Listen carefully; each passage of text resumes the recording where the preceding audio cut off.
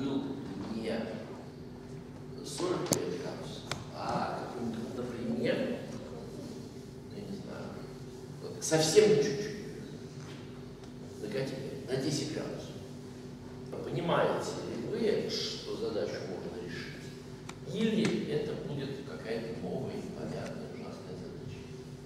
Повторяю вопрос. Квадрат чуть-чуть повернуть. Мы сделали так. Чуть-чуть. Поняли идею? И здесь то же самое. Чуть-чуть повернуть.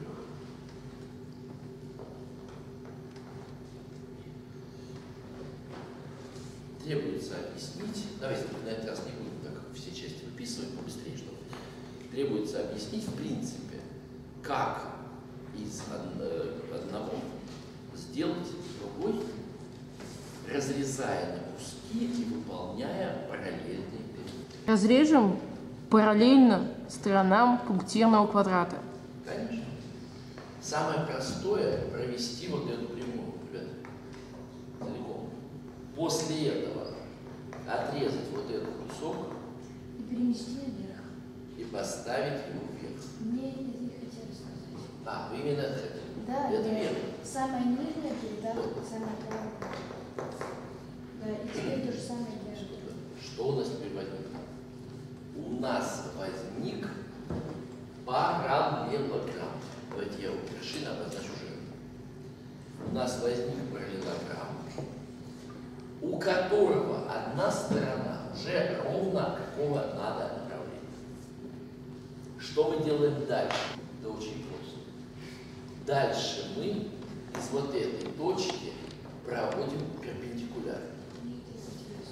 Интересно. И там то же самое проводим перпендикулярно.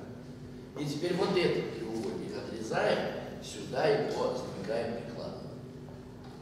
И у нас направления сторон стали какие надо.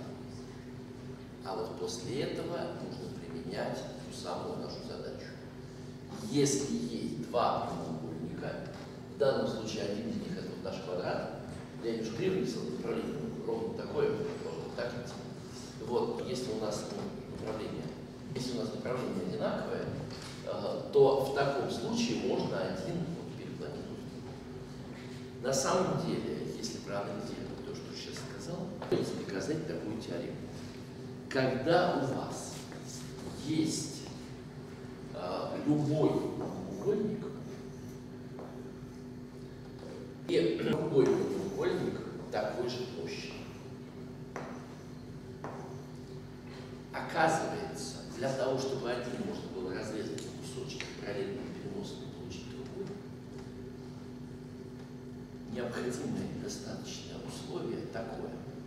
Вот э, когда вы берете любую сторону, давайте ее считать с одним знаком, а если есть противоположная параллельная сторона, то ее будем считать с минусом. Вот это с плюсом, это с минусом. И у этого треугольника тоже, да? Так вот, все такие штуки должны быть равны. То есть, когда вы берете двуугольник любой, э, любое направление и сжимаете его э, с двух сторон по этому направлению. Э, когда мы треугольник с этой стороны берем с одним знаком, с этой стороны берем с другим знаком, все это сверху. Так вот, для каждого такого направления, если такие штуки значит, э, все равны, то тогда можно сложить я сейчас доказывать не буду, но, в общем, это, это на самом деле, по сути, я все рассказал, просто это надо было в общем